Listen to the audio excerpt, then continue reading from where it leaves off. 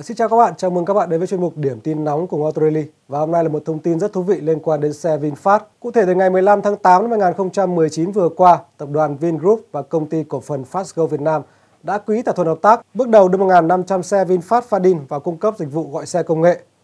Theo đó, thì VinFast Fadin và VinFast Lux sẽ được đưa vào sử dụng trong hai gói dịch vụ của Fastgo là Fastcar và FastLux. Giai đoạn đầu, Vingroup sẽ cung cấp 1.500 chiếc xe VinFast Fadin cho Fastgo và các đối tác tài xế của Fastgo.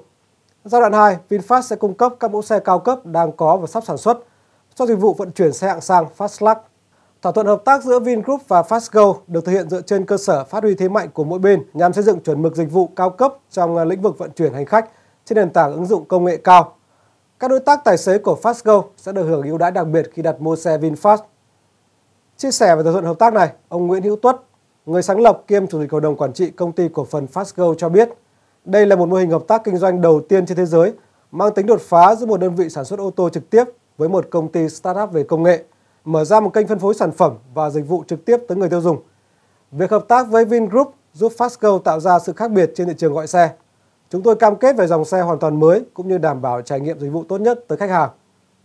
À, trong khi đó, phát biểu về thỏa thuận hợp tác, ông Võ Quang Huệ, Phó Tổng Giám đốc Tập đoàn Vingroup cũng cho biết hợp tác với các doanh nghiệp và cung cấp dịch vụ gọi xe công nghệ như Fastgo là hướng đi tốt để ô tô VinFast phục vụ được đông đảo người dân Việt Nam. À, chúng tôi đảm bảo mang đến cho các đối tác những ưu đãi hấp dẫn, sự hỗ trợ tận tâm cùng sự thoải mái, an toàn khi sử dụng xe VinFast cho khách hàng. Trước mắt, Fastgo sẽ cung cấp dịch vụ vận chuyển bằng xe VinFast tại Hà Nội, Thành phố Hồ Chí Minh, Đà Nẵng, sau đó sẽ mở rộng ra các tỉnh thành khác trên cả nước.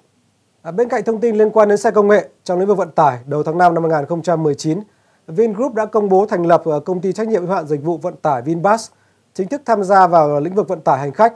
Vinbus vận hành hoàn toàn theo mô hình phi lợi nhuận nhằm góp phần xây dựng nền giao thông công cộng văn minh hiện đại, giảm ô nhiễm không khí và tiếng ồn cho các đô thị lớn tại Việt Nam. Dự kiến Vinbus sẽ cung cấp dịch vụ ờ, vận tải từ tháng 3 năm 2020, bắt đầu tại năm thành phố lớn là Hà Nội, Hải Phòng, Đà Nẵng, Thành phố Hồ Chí Minh và Cần Thơ. À, và vừa rồi là những thông tin rất thú vị về VinFast mà tôi muốn ờ, chia sẻ với các bạn. À, còn bây giờ thì ờ, xin chào và hẹn gặp lại các bạn trong những chương trình tiếp theo.